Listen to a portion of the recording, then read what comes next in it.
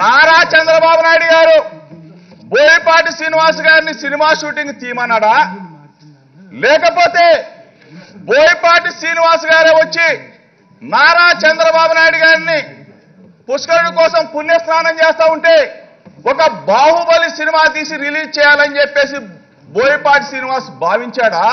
పుష్కర స్నానం చేస్తుంటే భక్తులందరూ లక్షలాది మంది వచ్చేసి ఆహా చంద్రబాబు నాయుడు ఓ చంద్రబాబు నాయుడు ఏంటి అధ్యక్ష అంటే మీ పబ్లిసిటీ కోసం నీ పబ్లిసిటీ కోసం నువ్వు ప్రచార సాధనాల్లో లక్షల మంది తరలిరండి.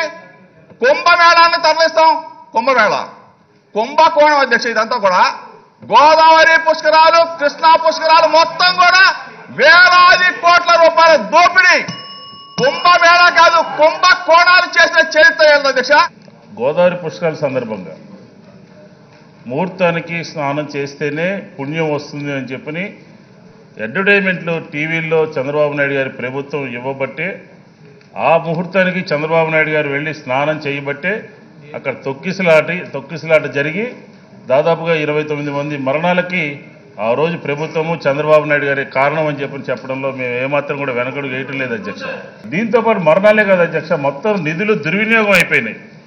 కృష్ణ పరివాహక ప్రాంతంలో కానివ్వండి గోదావరి పరివాహక ప్రాంతంలో కానివ్వండి కట్టినటువంటి ఘాట్లు పుష్కరాలు అయిన తర్వాత నెల రోజులకి అసలు ఎక్కడ కూడా కనిపించినటువంటి పరిస్థితి లేదు అధ్యక్ష.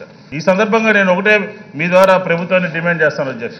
ఆ మరణాలకి ఆ రోజు జరిగినటువంటి ఇరవై తొమ్మిది మరణాలకి ఎవరు కారణం అని చెప్పని ప్రభుత్వం తేల్చాల్సినటువంటి మరొకసారి తేల్చాల్సినటువంటి అవసరం ఉంది అధ్యక్ష. ఇరవై ఎనిమిది మంది చనిపోయి ఉన్నారు. దాని మీద అప్పుడు ప్రభుత్వం ఎటువంటి చర్యలు తీసుకోవడం చాలా చాలా బాధగా ఉంది అధ్యక్ష. ఎందుకంటే ఒక వ్యక్తి చనిపోతేనే మనం కంగారు పడతాం మనం.